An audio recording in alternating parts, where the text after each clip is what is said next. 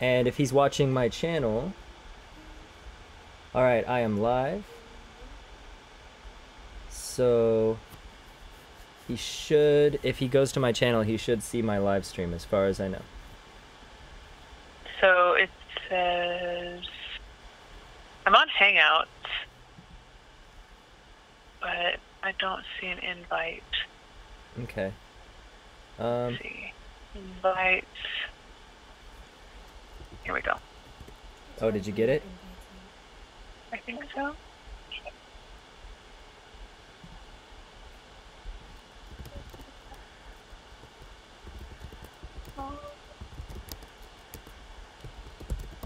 So I accepted, and thanks for walking me through this silly technical crap, dude. No problem. That's kind of what I'm doing. Okay. Where did it go, you silly boy? Um, I also emailed it to you. Found it. You found it. And Do you- you see me on there? Here, let's. It says I'm the only one here, so no one else is in the Hangouts call with me. I live streamed it so because I put the link there too, so that you could join. Oh, Well, but I'm using it right now to make sure that we're actually in it. So please just let me do it. okay, but you're, you're in a chat, Maybe. so I can send you something. Click that. Click that. Okay. Look at Hello. Hello. Hey, Oh. uh, it appears as though you still have not joined my call. Oh god. I well. Oh, hey, there you are. Now you're in it. I'm hanging up. I just heard Zan. Hey, Zan. All right. Sweet. So now that you've got that, Zan, I think if you go to my channel on YouTube, you should be able to see it. I'm really hoping that we do a little better each time that I try to do a live stream. and it gets a little bit easier. Um, oh yeah, it's going now. Episode 2, let's make them move. So if you go to my channel,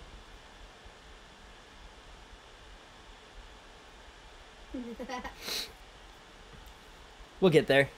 I'm like just sitting over here waiting.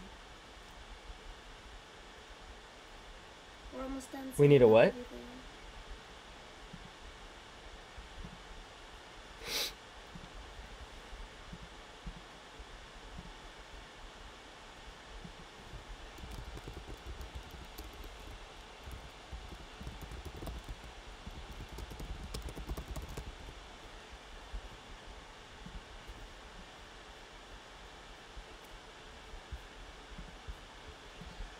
Zan, have you been able to get into the video? Okay. Then I'm going to send you a chat message with the link.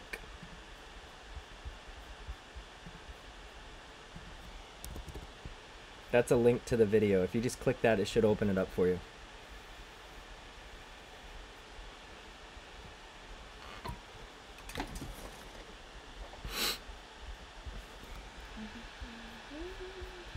Um, well, I shouldn't need to. If you're in Hangouts, you should. Okay, let me try this.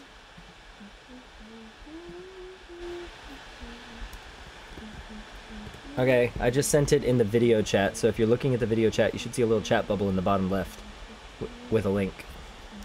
Did you get it?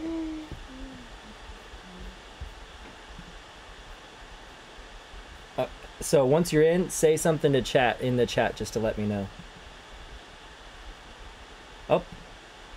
Oh, I hear me.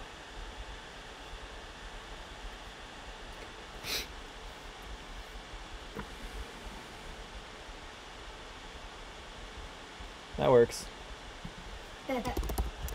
Okay, let's get rolling. yeah. I've got Zan and Arya here today. Uh, nobody else seems too interested today, so we're just gonna keep going. So Zan, you can see my screen. You can see I've got three creeps. Uh, I've got a map. Um, what I decided to do, and I'm gonna walk you guys through how I got to here, There's a beam. um, is Oh wait, what am I hearing? I don't hear anything. Oh, hey Zan, can you turn the video down because I hear myself very clearly. I'll be sitting in this. Yeah, if you're in my if you're in the phone call, go ahead and mute the video cuz or or mute the phone call rather. One or the other. But if you ha- or mute your mic unless you're going to talk. Either way, well, however you're doing it, but uh just yeah, it's good now. All right, so you should see the game here. Uh, it looks like the I made the scorpions a little bit smaller, and I'll show you how I did that. I also opted to just use the base map that they gave us, and I'm going to show how we can put these images together and just use them kind of like that, like a picture, and then set the game up on top of the picture. So that gives us the freedom to put these together any way we want and any application that we want. Um, and I'll show you some options for that. Um, so uh, we'll first things first. Let's go over a couple of settings in Godot that we needed to change. So if you're following along, um, great. If not, you can do this anytime. Are they gonna So- follow the green path? Go up to Project menu up at the top. Yeah, the green path is where they'll be able to go. And you can go to Project Settings. And then one of the things you want to be able to do here is uh, you can type display in the search here. And when you click window and go down to the bottom, there's this mode here where it says stretch mode. And by default, it says disabled. Um, choose 2D um, for this kind of a game. So what 2D is going to do is it's going to make it so that depending upon the uh, screen size that you've got the game playing on, the game will either zoom or get smaller. So as you saw, like I made it full screen and it went full screen and it still looks good. Uh, previously, if I had done that, the game would have been small up in the corner here and it wouldn't have zoomed properly. So we fixed that. And then the other settings that I had to change, let's see. I think that was that was the only settings I had to change so far except for I took that camera that we had previously and I set its position to 0, 0 and its scale to 0, 0. I dragged the background uh, image onto the screen and this game background one I just dragged it out onto the screen and I set its scale to 0.54 on the X and 0.56 on the Y and that made it fit perfectly within the camera got our, our ratios right and got our resolution looking good. And then I will walk you guys through how we set up the navigation stuff and then we'll have to get cracking on some coding. And uh, I made a few new nodes. So we're gonna walk over how those were done and that may be all we can get through today but I'd like to get it so that we can at least make something move that would be fun so we'll give the scorpions a brain before the end of the day they may just walk in a straight line, but that'll be something. So um, let's first talk about the new nodes that I had to make. Um, I'm working on some other ideas here, and that's what these are, so I'm going to go ahead and get rid of those. So we're just going to be worried about the scorpion, which we had before, the spawn point, and the build point. So we've already made the scorpion, and I haven't changed anything there, so we're going to talk about the spawn point real fast. Uh, right now, all I did was I went up to scene, new scene, and that creates a spawn point. Alternatively, you can click here, so you can add a new scene.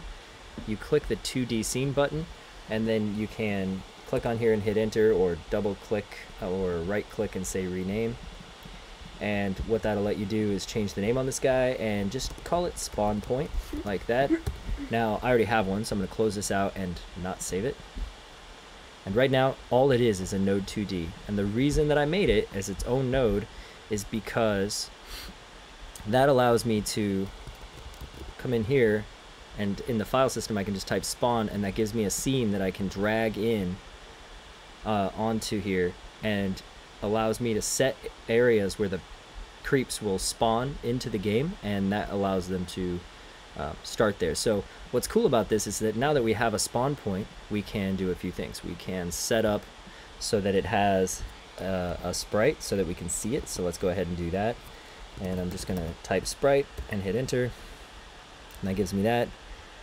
I mean, got to remember to clear out. Sometimes when you look over here and you don't see anything, it is because you've got something typed here in the filter. So if you undo that, then you're good. Um, I'm just going to pick a totally random thing here. Let's see. What should we pick for a creep spawn point? Where should where should creeps start out? On a red flag?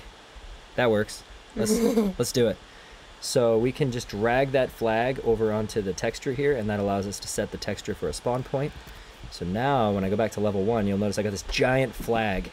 Obviously that's too big.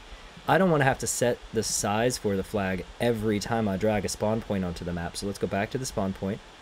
We'll click on the sprite. We'll go on the right hand side to where it says transform. Transforms anytime you're changing the position or size or rotation of the object, you're going to go to the transform on the properties here. So click on that. And you can see I'm keeping my position at 0, 0. My rotation I'm going to keep it 0, 0, but let's show you what happens if I mess with that. You can see here's how you would uh, change how it's rotated. I don't want it to be rotated at all, so I'm going to leave it at 0. But I do want to shrink it by a lot. So I'm going to put it at 0.25, so that's one quarter of its normal size. I'm going to hit save. So I hit Command S or Control S on Windows, and that will save it. Go back into here, and you can see now that flag is a much more reasonable size than it was before. So now I can put this here. Um, right now, it's not going to make much sense why we need that, but but it will when we start getting into coding. Um, another thing is, you notice how that flag is on top of the scorpion? You may be like, I don't want the flag on top of the scorpion. I want it behind the scorpion.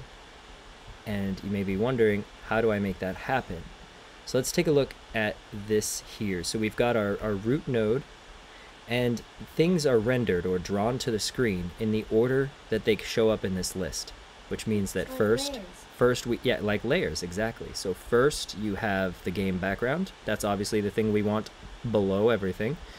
Secondly, we have a camera, which isn't shown on the map, so that's pretty much irrelevant. You could put it anywhere, uh, as long as it's not a child of something that moves, which is a useful thing to do, but right now not what we want to do. And then secondly, uh, we've got this navigation 2D, which is uh, it's a very useful node that allows us to give our creeps some brains so that they'll find their own paths to a destination. Uh, take some code to make that happen, but this is the first step in that direction. And then you'll notice uh, that the spawn point is after that and after the village center. So let's watch what happens if I move the spawn point. I'm just going to click and drag it up here. If, if I'm hovering over something and you see that outline around the node's name, that tells you that when I drop it, it's going to become a child of that node. If I move up just a little further and becomes just a line, then that tells me that it's going to move the node there in the list. I'll let it go. And you'll notice that the flag is no longer in front of the scorpion. And if I hit play, uh, you can see the flag is behind the scorpion. So that worked out pretty well. Let's go ahead and go back. All right, so uh, we're going to do one more thing here. Uh, you'll notice that I keep clicking this button, which says play scene. But sometimes uh, you just want to hit the play button because you want to play the game as it would be played. You're not trying to play a specific scene. S- You want to play the main scene, the first one. So we'll go ahead and hit the play button. And you'll notice you'll get this alert where it says, please confirm you've never picked a main scene. No main scene has ever been defined. Select one. You can change it later in the project settings under the application category. But right now we're just going to pick one and we're going to go ahead and let it be level one and click open.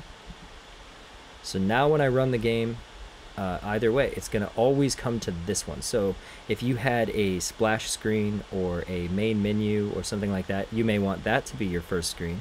And so then you would change that. Okay, I'm going to go ahead and close this down. Go back. All right, so we're kind of getting there. We've got a spawn point now, and it looks like a flag. That's pretty cool. Now there's another thing we want to do. We're going to talk about groups. So I'm selecting the root node of the spawn point here. I'm going to go over to node, and I've got groups.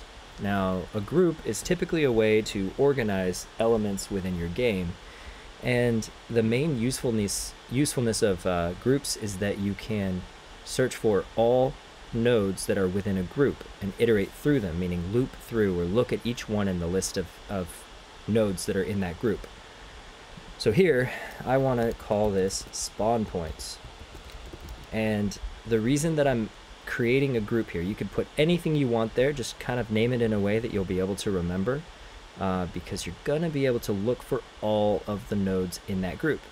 So the very cool thing about this is that now, when I go back to my level, if I want, I can come over here, and I've got spawn point, and I can drag that out onto the scene, and now that's a spawn point. And I can drag this onto the scene and now that's a spawn point. and what's neat about this is that instead of having to know the names of all the spawn points because I don't want to have to worry about that what I can do is I can there we go. Now I can just uh, loop through all the nodes in the spawn point group yes Arya? Um, is all the scorpions heading to there? Uh, yeah, so the idea is all of the scorpions or any bad guys coming from any of these directions would be trying to get to the village. They should probably watch out for this one because that's the closest. Yep, so this would be the closest and probably the first one you'd worry about. These two, we're talking about tower defense strategy here, so let's try to make it so we can even get things moving yet. Mm-hmm. All right, does anybody have any questions about anything I've covered so far? Hmm. All right. I'm gonna. I'm gonna carry on. If you do get have questions, hopefully you can go back and rewatch it, and it will make sense. So notice now I'm kind of cluttering up my scene tree over here. This is kind of annoying, actually. I don't want it to be this cluttered. So let's do something. I'm going to do something that feels a little counterintuitive. I'm going to add a node to clean it up. So what I'm doing here is I'm just adding a node 2D, and I'm going to get all these build points. Now, you may be asking yourself, what's a build point? Um, I will show you how I built that in just a second. So I've got all these build points. I'm going to make them all children of this one, and I'm going to call this build points, and I'm going to go like this. So now I clean that up, and now I'm going to add another one. Uh, this is a way of organizing your scene tree, and it's mainly just a convenience feature for me. I don't always do this, but I'm to do it today because these scenes are not to be too complicated, but they're complicated enough that I want to clean it up. Alright, so we're to go like this. Spawn points, done. Alright, so now I've got spawn points and build points. I've got my navigation, which contains all of my paths. I've got this village center, um, which is right now it's just a point. It literally, if I let me see if I hover over this, it should tell me it's a position 2D. Uh, this is going to act as an objective where they are trying to get. So the bad guys are going to be trying to find their way to this point. They're going to get as close to it as they possibly can. And um, let's try to make a node that's a little smarter than just a position 2D. Let's go ahead and do that. So I'm going to go ahead and click the plus to add a new scene. Click 2D scene to make a new one. I'm going to call this one, uh, what do you want to call it? We'll call it home base. Okay, so we're going to create a home base node. And uh, Node 2D already has a position, so we don't have to do that. But we may want to add a flag. So let's go ahead and do that again. We will just say add a sprite 2D. And now that it's selected, I can click. If you see this instead of the thing you're used to seeing, uh, just keep keep in mind that you've got these tabs up here, so you can click on Inspector, and you should be back to what you were used to. I think if I no, they sure don't. They don't name them that way. So we'll go back through these real quick. Here's the flag, and we're like, well, we don't want to have the same flag for the bad guys and the destination, and you're right. So we can change the color of this. We can make it a different color if we want. We can change it to all kinds of different things. Um, so let's go ahead and make it green. Now it's kind of a green flag. Uh, so that might work. Looks like we've lost some people. Have we lost anyone? Nope, we still got some people. Alright, cool. So I'm going to go ahead and set my sprite's location. Uh, it looks like it moved a little bit. Okay, we're fine. And let's go ahead and set that scale on there the same as we did before. And for the node here, I'm going to make it the home base as the group. The reason I'm doing that is it might be possible that there are multiple objectives that bad guys would try to get to. And so what they're going to do is they're just going to maybe aim for a random one. Um, or maybe we can make them smart enough they try to get to the closest one. or maybe certain baddies prioritize certain kinds of home bases. So we can add more complexity later. But right now, we're just going to give it a home base. We're going to call it a home base group. And we're going to go ahead and get rid of village center here. Delete that node. Yep, get out of here. And I'm going to come in here, type home. You see I've got this home base scene. I'm going to drag this guy right here. So now you can see it makes it a little bit more clear for our game. Okay, this is where they're trying to get to. Okay. Question. Yep. What happens when they get there? Uh, when they get there, well, we're gonna figure that out because we're gonna have to build a HUD. But today, we're a, a HUD being a heads-up display. That's where you're gonna display all the information that the users or players are gonna want to know about. Hmm. Um, and So I am. like a beginner screen before you first play. Uh, you'll have that too, but right now, what the HUD will represent is showing things like how much health do you have left, how many villagers are still surviving, things like that. So we have to put a little thought into uh, what you're defending before we can decide what happens when you fail to defend it properly. Mm-hmm. Um, all right, so let's talk about those build points because right now I've, I've got lots of them all around the map, and you can see that the picture had these kind of already in it. If I were making my own picture, which I was lazy and didn't, I just took the one that came with that asset pack. Um, I wouldn't include the build points in the picture, and I also wouldn't include anything that overlapped the road because by doing that now when this bad guy comes over here he's gonna he's gonna walk on top of these trees and that's gonna look dumb so when I'm feeling less lazy, I will make another picture where these sorts of trees are not. Uh, well, actually, I might be able to fix that. So let me show you. That's a. Just had an idea. So I think if I type decor, I've got all these different decor items that I can use, and one of them is a tree. Where is that tree? Or maybe not, but it's in this group here. So I'm gonna go ahead and select that and let's just try to do that. So you, you guys are starting to see a little bit of my pain here. Uh, let's look for a tree. I want to find a tree. Oh, where are the trees? How, how could this be happening? Where did those trees come from? The trees surely came from somewhere, but where? They did not come out of here, I'll tell you that. Alright, if you're Did you search trees? uh, unfortunately, they're not named in a way that makes it so that I can just search for trees. Um. Oh, there's just some bushes. Ah, there's a tree. Haha. Okay, so I can take this tree and I can drag it out here. And now you'll notice that what I could do if I wanted the scorpion to show up behind it is I could actually kind of superimpose this tree onto it there and if I make sure that eh, this tree is in front of everything else, like this, then now when this scorpion, let's say this guy, comes over here and he goes, he'll be behind that tree. And now it won't look so dumb, even though this one will still look a little dumb, so I can probably fix that too. So let's go ahead and grab this tree since that's the one that they used in that spot. We'll, we'll do this and you can notice that they've also transformed it a little bit so we can actually do that right here. Uh, in the game engine we don't have to edit these outside of the game engine. It's kind of cool that you can do so many transformations on the image um, in Godot because it means that you do not have to well, that's too small isn't it? It means that you don't have to have a whole lot of assets in your game in order for it to work. Um, oh yeah. So you'll notice right now it's facing to the right and the tree needs to lean to the left. So to make something like that happen, called a horizontal flip or mirror, you can just change the scale on the x value to a negative value and watch now it flips. So that's something that you can do either in code or in the editor. And I mean, they chose some arbitrary scaling here, but that's okay. So I this uh, tree, I'm gonna go ahead and drag it over by the other tree, and uh, you'll notice that I did that wrong because it's now on top. So I'm gonna go ahead and drag it up. We'll grab we'll grab this one and, and drag it below. Boom. Uh, does that look better? Yeah, that's better.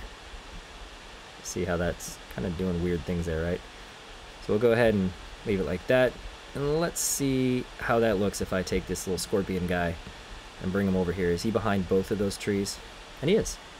So that looks a lot better.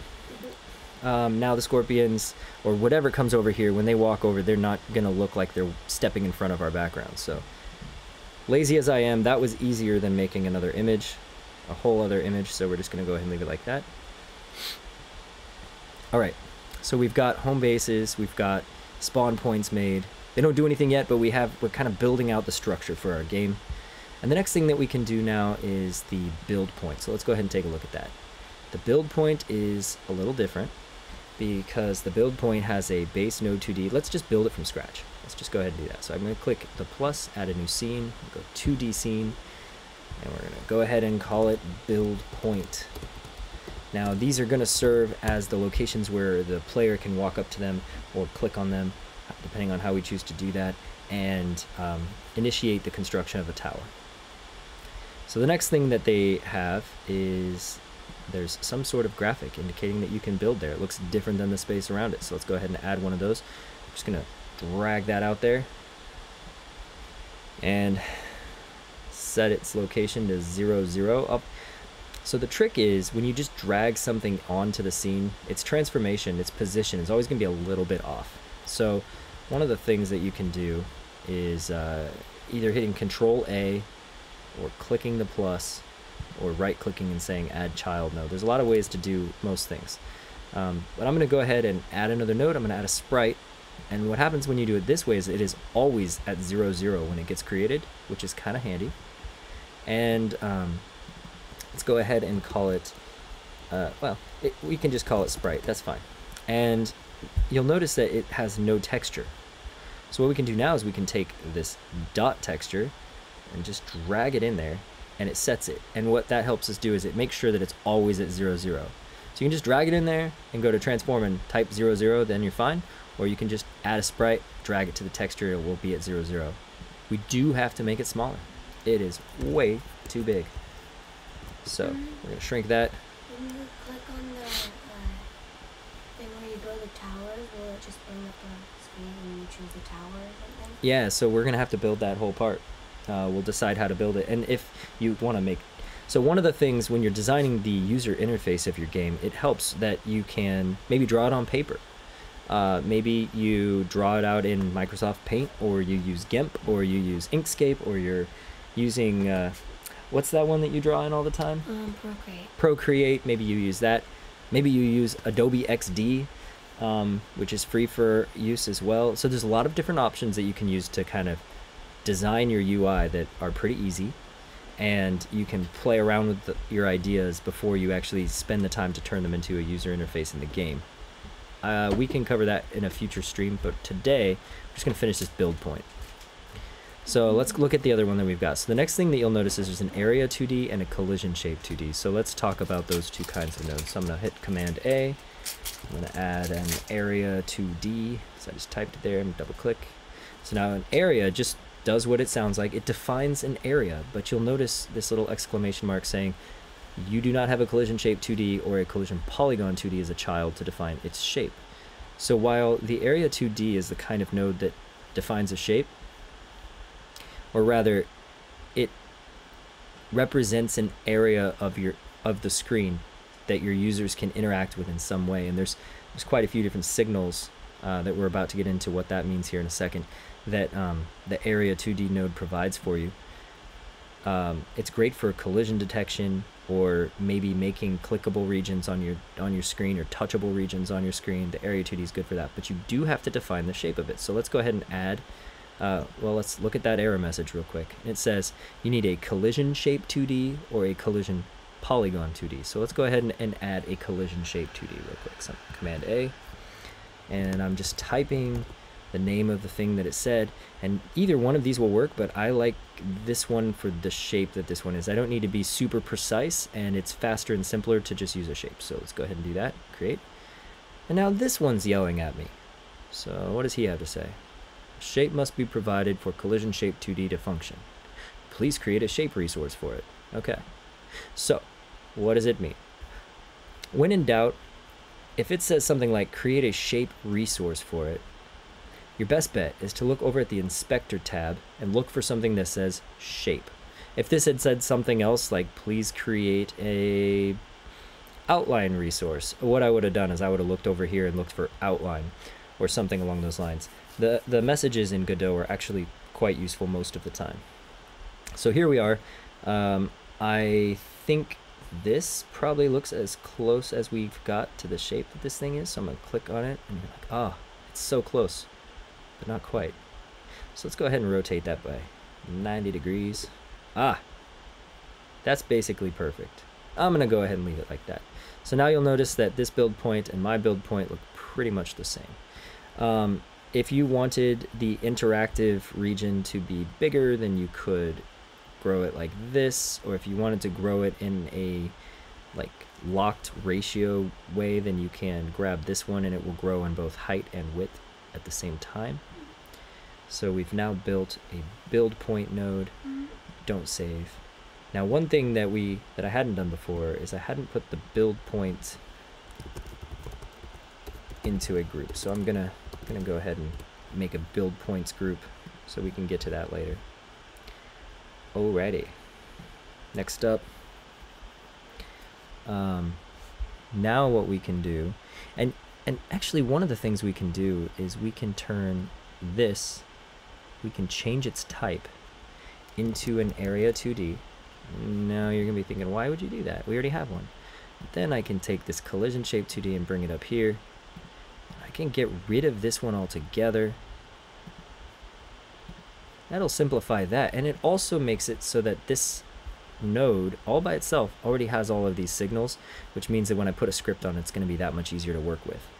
Um, so I'm going to go ahead and save that change. And you'll notice over here, it actually doesn't look any different uh, than it did before. This is now that guy. He belongs over here. So we'll go ahead and do that. So to add those to the map, all I had to do now to add build points to the map is I type build and I've got this build point scene and I can drag that on there anywhere I want. So if I wanted to add a build point here, for instance, where a tower could be set down, I could do that. And it doesn't have to be in the base map. And in fact, that's why I said I would suggest not including them in the base map because it gives you a little bit more flexibility. But definitely maybe leave spaces in all of your decor. Or maybe you just make the path and the grass, for instance, and you add all of the decor as as uh, sprites in the game engine. Either way, um, doing it as a static image is going to be a little bit more performant, but quite honestly, we're not going to be pushing any boundaries here uh, graphically, so performance is not as big of a concern. Um, so, all right, we've got, now I'm going to go ahead and get rid of that extra guy that I just added. So far, we've talked a lot, and hopefully we've you've learned a few things about adding nodes and creating them. Um, you've learned a little bit about Area 2D and how you can add a collision shape. So the next thing we're going to get into is those signals that I mentioned, as well as our first little snippet of code. So, take a deep breath. We're about to start coding. I'm going to the scorpion, and I want that scorpion to do something. Right now, he's just walking in place. That's crazy. What kind of scorpion would just walk in place? So let's fix that. I'm over at the Scorpion node, and if you didn't have it open, it's pretty easy to do. You can just type Scorpion over here. Double clicking it will open up the node, so now we're looking at it. That's the fastest way to find it. And that's why I'm a strong advocate of either having a really good uh, structure to your project so you can find what you're looking for, or for making sure that you name everything in a in a way that you'll remember it when you need to find it again. So you can just type its name and it takes you right to it. Saves you a lot of time searching, like I had to do for the trees when I was trying to find them. Like that was just a mess. I might go through and rename all the assets here. Okay, so select the root node.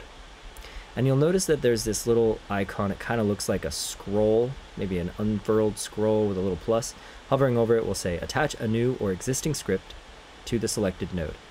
We do not have a script for this, so it will obviously be a new one. I'm going to click the plus, and you'll notice that it automatically tries to tell me where it's putting it. I, I could just put it in scenes, creeps, scorpion GD. It depends on how you think about it. If you want to keep your scripts in the same directory as the scenes that they belong to, um, which I often do, then um, go for it. Just leave it right where it says. Sometimes it's handy to create a designated scripts folder, uh, but I'm just going to leave it just like this. It's uh, going to be using GD script, and you can notice there's a couple other options here, but we definitely want to use GD script. I do not like the visual script, and I do not want to get into the native script. So GD script, and uh, it's a node 2D, meaning it's just an object that can exist in your 2D game. And that provides us some stuff, and we're just going to say create. Boom. So, to kind of go over that again, because I talked a lot and maybe got confusing. You click the plus, you can leave everything the same and hit create. I did not change anything. So you can cancel. Um, so now what I can do is I can click on that and it will take me into my first little bit of code here. So it's about to get exciting. It always has some boilerplate stuff here to just kind of maybe jog your memory about what you're doing. So the first thing we're going to do is we're going to go set process true. And I'm going to like talk real quick about some of the cool things that Godot now provides to you. It did not always used to do this. So you'll notice I typed set and it shows me a bunch of options. I hit underscore and there's more options, but there, there's fewer options and they're more likely to be what I need. I'm looking for set process and uh, there it is. So I can just hit enter now. And then it's showing me some, some little useful hints here. It's telling me a little bit about what the set process function expects and what it returns. So let's, we'll talk about those two things real quick. Here where it says void, that tells me that this isn't going to return any values, it just does something. And it, it probably takes some arguments. Those are the things that go inside of the parentheses. Those are values like maybe um, a piece of text or a word or two or sentence, or perhaps they're in this case a bool, which stands for boolean, and that means it can either be true or false. And it tells us, hopefully they've named their variables well enough that just reading this will tell you. So if I say set process and enable is true, then I'm telling it, yeah, go ahead and process things. If I say set process false, it means stop doing that. Now let's talk about what process is. Unfortunately, right here it tells you process function is called every frame. Delta is the elapsed time since the previous frame. So let's go ahead and uncomment these. Um, I guess I better mention what a comment is. So if you see this little hash sign before it, hmm? Yeah, how do you uncomment them? That's a great question. So any line that has this little hash sign before it is going to be commented. If you want to uncomment the line, you just delete it. If you want to comment a line, then you add one. Uh, a commented line will not have any effect on the execution of your game. So you can include informative stuff like this, where it tells you about it, and then anybody looking at the code has some information, and that's what comments are normally used for.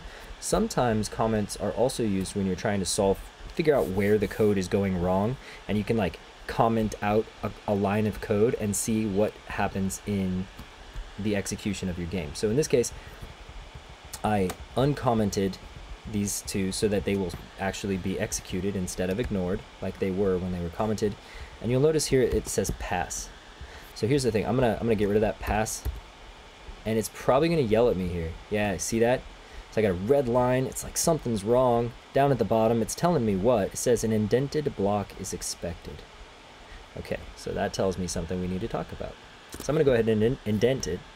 It's still not good though. It's still gonna be angry at me because now the error message is less clear. Every function, whether it's returning something or not, has to have something inside of it. If you are just mocking it up and you don't want it to do anything yet, then you just add the word pass, which is what they had. And that says, yeah, I'm a function, I exist, but I don't do anything, so when you call me, just pass it on to the next line. Like, don't do anything in here. So that's what we're doing there. We will be doing something shortly with it, though. Let's do that. Scorpion 2D is a node 2D. We want it to move. And uh, so what we're going to do is, let's talk about coordinates real quick. Okay. In Godot, 0, 0 is the center, which means that a negative value for x, meaning the left and right axis here, is going to move things from the right side to the left side. And a positive value for x is going to move it from the left to the right. And for y, uh, if this is 0, 0, let's see, does this give me coordinates anywhere? It kind of does. You can see it on the side here. And negative values go up on the y and positive values go down on the y. So this is your negative negative, and this is your uh, positive on the x, negative on the y, positive in the y and the x, and negative on the x, positive on the y. Now I'll get into what I'm why I'm telling you that. So we'll go back in here. I'm gonna click script to go back to my script. I want to make it so that every frame that scorpion is gonna move. Okay. How fast do we want it to move? Well, let's go ahead and tell it that. So we're gonna say export speed equals let's say 5 okay and I think if I put a comma here export var speed 5 with a little colon colon tells it uh, to figure out what what type of value this is so now what I can use that's uh, creating a variable that will exist and be exposed to the game engine here. So you'll notice I, I created in the script there, I created this speed 5 and then I selected a scorpion in my game in, in my editor and you'll see over here in the inspector I can see speed 5. So what I've done is I've set a default speed but we'll get into what that's going to do in a minute. Now, we got to do something with that because just setting speed isn't going to do anything. I'm going to go ahead and get rid of these. So setting speed doesn't do anything we want it to actually move. How do we do that? So we're going to look at self real quick. Let's self inspect. And you can see that self has a whole bunch of things. That's just that's just too much. Let's see if it has an X. Okay, so this, no, X. You know what? It doesn't have an X. It has a position. Yeah, there we go. So you guys just saw. I don't know everything. I kind of figure it out as I go. And uh, in this case, you can say self dot position. Keep in mind you don't have to include the self. Uh, in fact, I'm, I'm not going to. It does make it more clear though. So a position though, that has an, that doesn't have an X. Come on now. Self dot position dot X. Hey, where is it? Okay, guys, it's time to hit Google. What is going on here? no, for real. Oh, hold on. Self dot transform dot x. Nope. Is it? Nope. Okay. Yeah, it's time. Google, help. So let's try it. Uh, I'm gonna go ahead and pop open Chrome here. Bloop. Yeah, that's how it works. Here's a Chrome.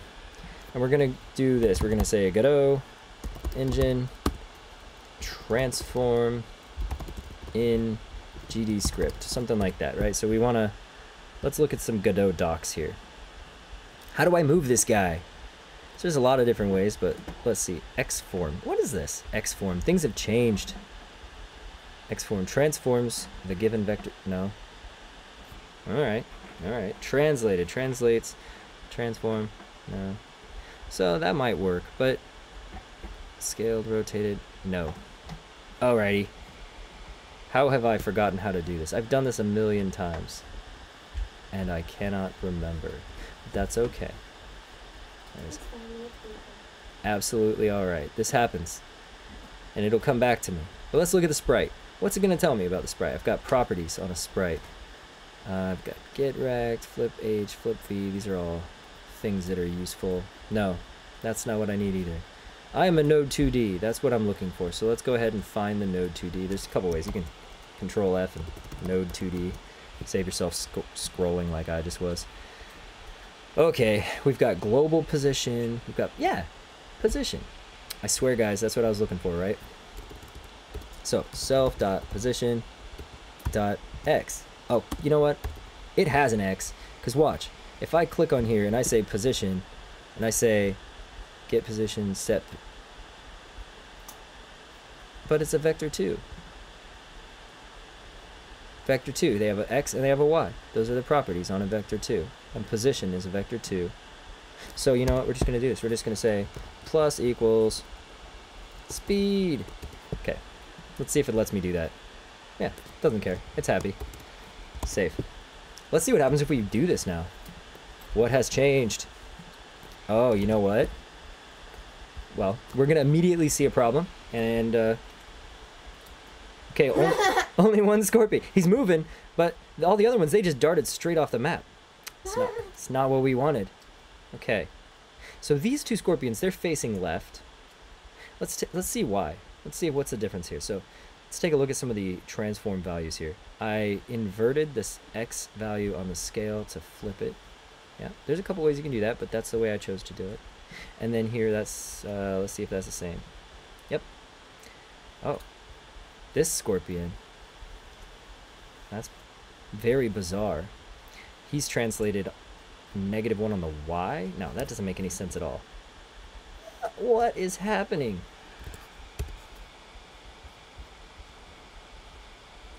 Does this thing have a transform applied to it? No. Does this thing have a transform applied to it? No. Okay, then why on earth is he upside down? This makes very little sense. You know what? I don't like Scorpion 3. Go away, Scorpion 3. You're weird. Yeah. I don't like you at all. Okay, let's let's add another Scorpion. I think we need another Timmy. Okay, here we go. We got another Scorpion. And notice that he is a child of Path 3 here. It's because I had Path 3 selected when I dragged him onto the map. Now he's looking more normal. I'm going to go ahead and hit the transform and hit negative 1. And notice he's facing in the direction that you would expect him to be facing. Talked a lot about that. Now let's show you why. We'll go back into the script for the Scorpion here. Make sure we're in the Scorpion script. And so I'm moving always to the right because speed is a positive value. But what if I took this and instead of position, I looked for scale dot x. Okay, so scale is also a vector 2, uh, meaning it has an x and a y. And if I added speed times the scale, in this case it's negative one, right? So that would make this a negative 5. So now instead of moving to the right, because I was adding a positive number, I'm going to be adding a negative number, which remember is the same as subtracting, which when we talked about our coordinate space here, subtracting moves to the left. So let's go ahead and see if those scorpions on the right do what we would expect.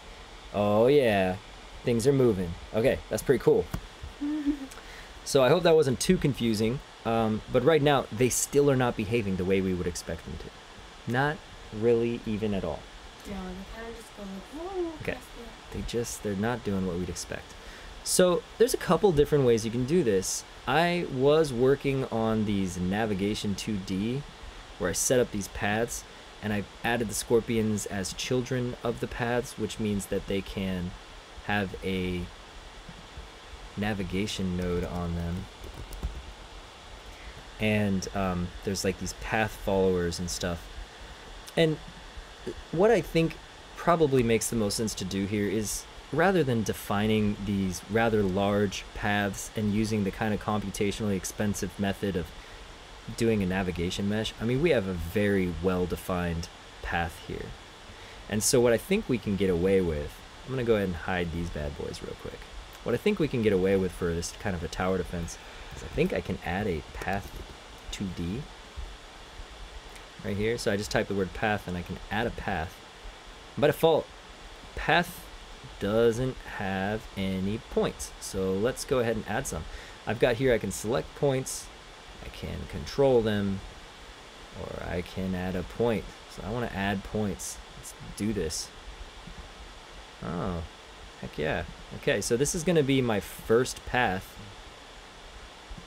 that the scorpions are going to follow and then they get here. Okay so that's path a.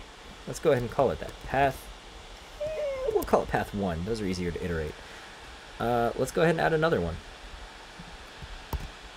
Path 2d keep in mind uh, pay attention to that actually i just noticed something i hadn't mentioned before the color of the nodes actually tells you something about them if they're blue then they're 2d if they're red then they are for 3D. So while we're building a 2D game, as long as you stick around and keep using blue nodes, you're typically in good good company here. You'll notice everything we've used is blue. Uh, if it's green, it typically has something to do with the user interface. So we are not dealing with green nodes yet, but that's kind of a handy thing that Godot does to keep it a little bit more clear uh, what kind of nodes you should be using. Um, well, we did need two more, so that's fine. I'm going to go ahead and click on this guy, and so that I don't accidentally select anything, I'm changing to move mode, and I'm going to drag this guy around. Oh, what am I doing? Look, I'm adding a path. I don't actually want to do that right now. So I'm gonna undo. Yeah. And I'm gonna move that guy. Oh, oh, it's not what I want. Stop it. Path. No, it's adding points. I don't want. I don't want it to add a point. That's the thing. So this is. Well, this is quite challenging, isn't it? I don't want that. Can I? Can I zoom in? Let's try that. Aria's laughing at me, as she should be.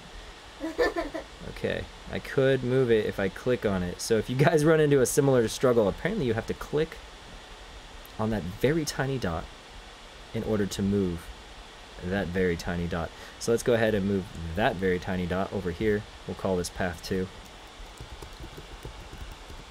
And we're going to go here. We're going to call this one path 3. Does this one exist anywhere yet? Where'd it go? Oh yeah, there's that one. Do you guys see a dot showing up anywhere? I don't. It's got to be at zero zero, right here in the middle. That's why I didn't see it. It's too obvious. Yeah.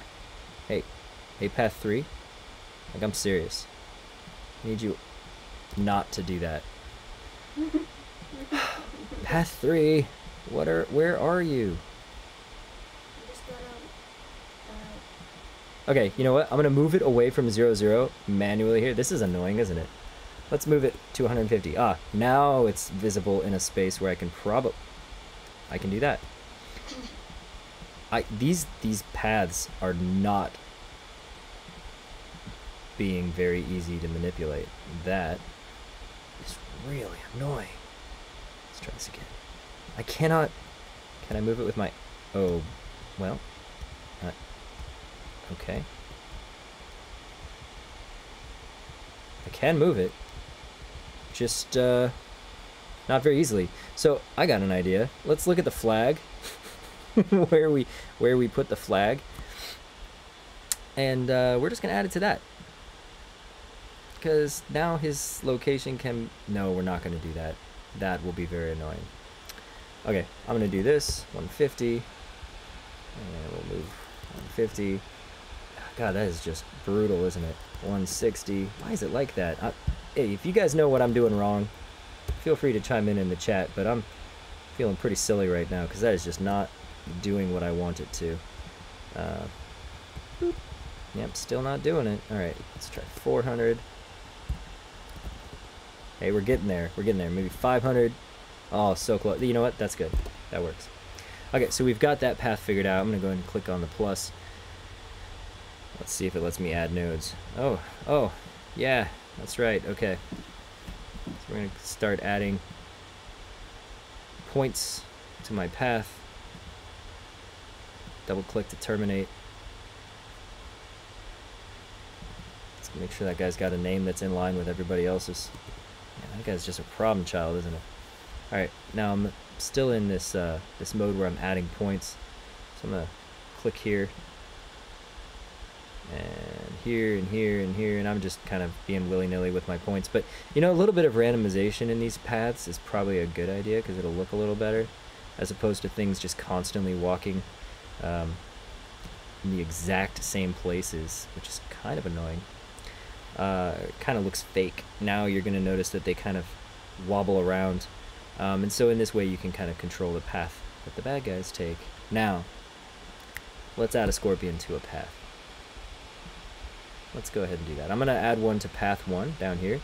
So you could add them to the spawn point or you can add them to the path. We'll talk about different variations here in a little bit. What might be a good idea is to go ahead and have the path on the spawn point that it goes to. and I'm gonna change some names of nodes here just for a second because there's a thing that I did and I was it's bad. I should be more consistent. Otherwise, it's gonna be really annoying. All right, boom. All right. So using an underscore and then the number, that's very useful because I'll be able to loop through it in code later if I want to. Without an underscore is fine too.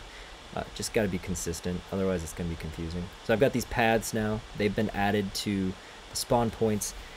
Why would you do that, you might ask? And I will tell you why you would do that. You would do that because the scorpions have to be a child of the uh, path in order to use it, and is that true? I think that's true. We'll find out. And if it isn't true, well, then I can change things around. But it doesn't hurt to have it this way. And we're going to want the spawn points to be adding the bad guys or the creeps into the map. So uh, we want the path to be a child of the spawn point that will be adding it to the map. So let's go ahead and select that spawn point. Select the path. It's going to be this path. And drag a scorpion onto the map. So he's starting here. Now, let's go write some more code. We now know that our scorpions are going to be children of paths. That's good to know because inside of the code we can refer to we can refer to the parent. So we say func find next point. And we're just going to call it that. Keep in mind, we can just call things whatever. I'm going to call pass right now because I don't know what I'm going to do in there yet. But I do know that I need a function that's going to find my next thing I'm moving towards. Okay, here, uh, this will be changing. Right now, it just moves. So, we know get parent. Get parent is going to be, in our case, because of what we did, is a path. We may want to check that, but we're just, just right now, I'm going to assume that I've always added it to a path. You can also say is class you can do that. There's things you can do to check and see. I'm gonna have to read up some more because it's been a while since i did this. But we're gonna say get parent and we're gonna assume that it's a path um as path 2d so that will will give me that's just telling godot that this is a path 2d and so now there's a get path 2 and you can see this. Oh heck yeah. And there's a node. Okay, so we definitely need to be able to set the destination. Export var destination. Yeah, it can be empty. Totally, could be empty. Okay, it's like, uh, that's not cool. You can't do that. Get rid of the colon. You gotta do something. If, well, I don't know what it's gonna be. So we'll tell it to be null. Still doesn't like it. it. Says, no, you cannot accept a null constant expression for inferring export type. I, I don't want to infer the export type. it's going to be a node 2D. Now you don't have to infer. Get out of my hair. Now what is it telling? Invalid export type. Only built-in and native resource types can be exported. I'm sorry, what? You know what? That's silly. Um, there is a way to do this, guys. I guarantee there's a way to do this. What? Let me tell you what I was trying to do. I want to be able to say that this flag here is the destination of all the scorpions that come from the spawn point. That's going to be a thing I need to be able to do in code. Uh, you need to remember how to do it. but right now, uh, let us use those groups that we were talking about. Heck yeah. Okay, so we're gonna say, or we're gonna say var destination. We don't want to actually do this every process tick. That is a horrible idea. So we're gonna do this as soon as we think we're ready. Say var destination equals get tree. Uh huh. Uh huh. Dot get nodes in group. Yes, that's what I need. And uh, do you remember what we called that? I think we called it home bases, right? Is that the group we added this guy to? We can verify that here. Groups. Didn't add it to any. Home bases. Add. Okay, save. Now my home base that I've got on my map belongs to the group home bases. So we're in here and we're going to say destination. Well, we're going to learn about scope here real quick, guys. What do I mean when I say scope? I mean that if I define a value inside of a function, that value only exists inside of that function. So I need to define it outside of the function so that it can be accessed by everybody.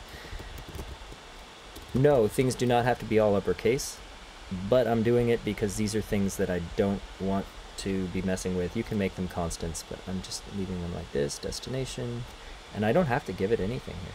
It's fine. And then I said, if I still say var destination, it's actually going to override that one and use a local scope within that function. So I'm just going to say destination, so I make sure it's using this guy. Get tree, get nodes and group, dot. Well, you could say find last, or I could just say give me the first one. Mhm. So what it's going to do is it's going to take. Ah, what did I do here when I said give me the first one? So w- let's look at what this get nodes and group gives me. Uh, let me explain what I just did there because that was magic, wasn't it? I held command or control, and if you command click or control click on a function name here, it takes you to the help for it. And here it tells me it returns an array. It returns a list of all the nodes assigned to a given group. Very cool. What's an array? Aha. Here's some stuff about arrays. An array equals, and then it gives you a list of things. Godot is pretty cool because it looks like arrays can contain values that are not all of the same type. And that is pretty neat. Not all languages support that, so that's cool. We're going to go ahead and for scorpion.gd, we are now setting it to the zeroth index. So let's go back to array. Are they zero indexed? It says accessible by a numerical index starting at zero. Very cool. I mean, as humans, we like to start counting at one, but for computers, they tend to more often than not start at zero. So that is why I chose zero instead of one. If I chose one and there's only one home base on the map, it would actually break the game. It would say uh, there are none. There is no index one because there's only a single thing and it's index zero. One is too many. So it'd say array index out of bounds is probably what you'd end up with. Anyway, so we got our destination now. Woo! Now we can do this. Destination. So now we can. Now that function works. Uh, let's go ahead and look at that function real quick. I'm command clicking, and it is straight up failing me. Path 2D. What's a path 2D give me? Uh, you can have a path follow 2D child nodes moving along the curve 2D. See path follow 2D for more information. Hey, let's do that, because we are trying to follow a path, and that does make a lot of sense. Let's try it. Path follow 2D. This node takes its parent path 2D and returns the coordinates of a point within it, given a distance from the first vertex. It's useful for making other nodes follow a path without coding the movement pattern. For that, the nodes must be children of this node. This descendant nodes will then move accordingly when setting an offset in this node. Okay. You know what? I'm going to make the scorpion. I'm going to change its type. I want it to be a path follow 2D. Sweet. That is going to break my code because I'm extending path follow 2D. Save. It says I'm broken. Why? It only works if it's the child of a path 2D node. I know. And that's fine. Totally fine. Let's go back into there because that was some useful stuff it was giving us. It says this node takes its parent path 2D and returns the coordinates of a point within it given a distance from the first vertex. It's useful for making other nodes follow a path. So what? Do I just set its offset? That's all I gotta do? No. That. No way. Distance along the path in pixels. Returns a float. What's a return? I don't know. What time is it? 8.18. Um, That means I've been going for about an hour and 18 minutes. it's true. Alright, I see a whole bunch of things here. Well, guys, let's try it.